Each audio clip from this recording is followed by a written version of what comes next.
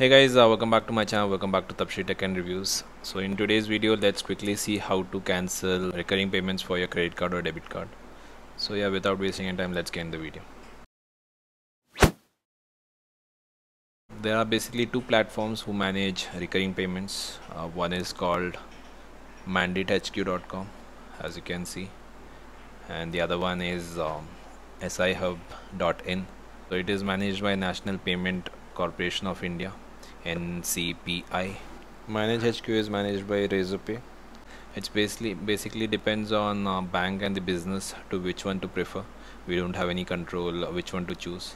So Mandate HQ has a cleaner interface UI, whereas um, the SI Hub interface is not that great, and each and each bank has a separate interface as well in SI Hub.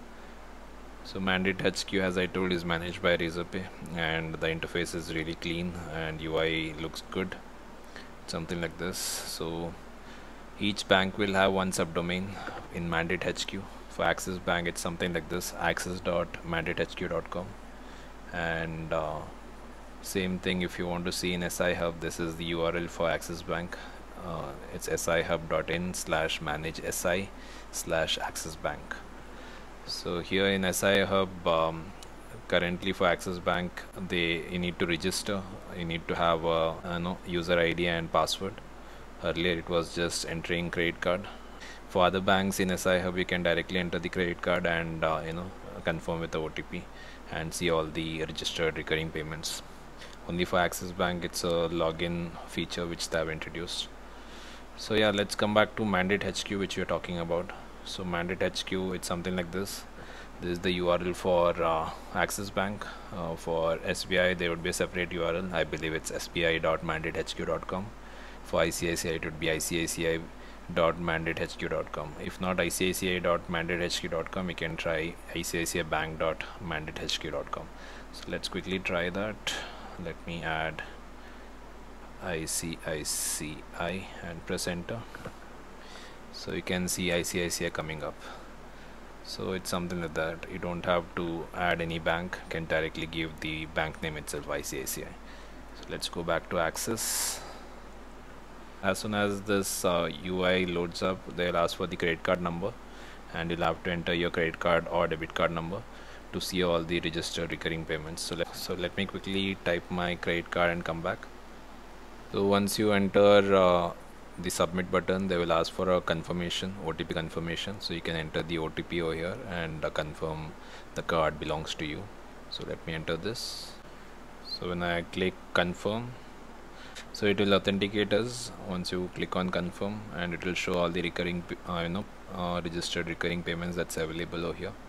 So if you see right now there is Shopify uh, recurring payment that's currently registered on this credit card so you can directly click on this and you will see all the details of uh, previous payment that was done. And on the top if you see there is cancel subscription as well you can you can click on cancel subscription and then confirm with yes cancel. So maybe there will be one more OTP confirmation which you have to give. So you can just give the OTP confirmation again and then click confirm and the ca subscription cancelled successfully message uh, should come up. And on the top you can see cancelled. So yeah that's how you cancel any recurring payments or subscription that's that you have registered for. So this is for Razorpay managed uh, recurring services which is called Mandate HQ and if you don't see your recurring payments over here then you can look for one by going into this website sihub.in slash manage si axis bank so here it's something like this. If you click on continue they'll ask for login id and uh, uh, password. If you don't have one you can sign up. When you click on sign up they'll ask for your credit card details and uh, you can provide that and also the email id and password. And once you enter that you should be registered and you should be able to log in uh, to this portal as well. So let me log into this portal and show the um, the recurring services that's available here. And it won't be same in both the website so both are managed separately and in both the website the recurring services won't be same. So let me log in and come back. So once you enter you can click on login. And so once you're logged in you can see all the registered recurring payments that's available for this card. Or you can see all the other cards as well which have uh, registered uh, for this particular user ID and password. So you can click on that and you can see the recurring payments that's available for that card. And from here also you can cancel if you don't wish to you know proceed further. So it's that simple. And you can also see all the bills that was already done previously. So you can check from here. By clicking on all bills you can check all the previous payments that you have done.